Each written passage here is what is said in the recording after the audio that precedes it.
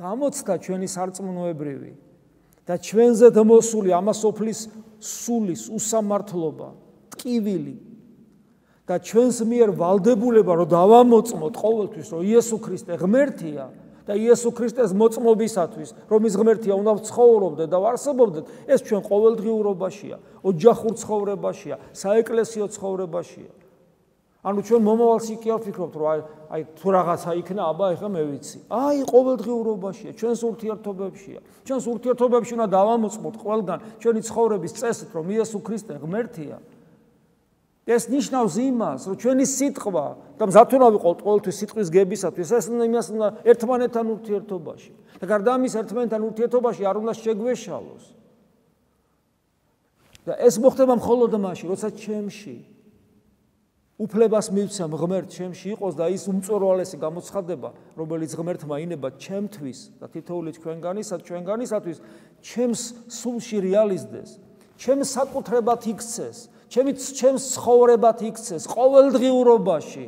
მე კი არ ველოდები ჩემს გარდაცვალებას, კი არ ველოდები ეშმაკის ანტიქრისტეს გამეფებას, ჩემს ყოველდღიურობაში, თქვენთან ურთიერთობაში, ოჯახის წევრებთან ურთიერთობაში, მეზობლებთან ურთიერთობაში.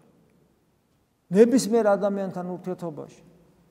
იმიტომ რომ ყოველთვის ამასოფლის სული, ანუ ანტიქრისტეს სული ყოველთვის არის. ჩემშიც, საზოგადოებაში, სოციუმშიც, ნებისმიერ ეპოქაში და ყოველთვის მე გამოწვევის წინაშე ვდგავარ და ვალდებულების წინაშე რომ ყოველთვის დავამოწმო, დავამოწმო.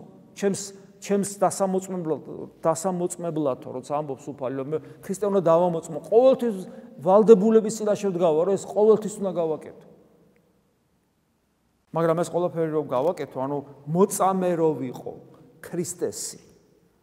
ამ სოფელში, ოჯახში, სამრევლოში, ურთიერთობაში, მეგობრობაში, ამ სოფლის წინაშე, მოძულეთა წინაშე, მაჭირებელთა წინაშე, ანტიქრისტეს თუ მოვესარი იმის წინაშე და გარდაცვალებისას ეშმაკის წინაშე კიდევ ერთხელ დავადასტურო რომ მე ქრისტესი ვარ და მისი ერთგული ვარ ამისათვის მას უნდა ვიცნობდე, ანუ იესოს უნდა ვიცნობდე, ღმერთს უნდა ვიცნობდე. და ეს კიდე მხოლოდ ამ მხოლოდ შინაგანი ცხოვრებით არის შესაძლებელი და ისევ იქ მივდივართ.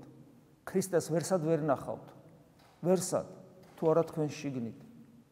იმიტომ რომ გარეთ, გარეთ ხორცელად რომც გამოგეცხადოთ, ვერ მიხვდებით რომ იესო ქრისტეა.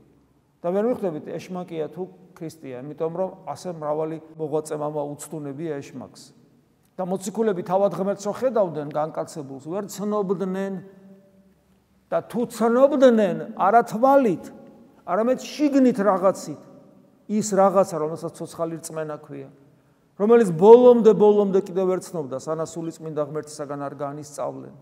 ხოლო სული წმინდა ღმერთი გაძლევს ძალას თუ დამკვიდრებული ხარ შენ შინაგან იერუსალემში, ანუ გულში, როგორც უფალი ავალდებულებს თავის მოწაფეებს და ამით ჩვენ, რომ ვიყოთ იქ და მოველოდეთ აი ამ ძალას.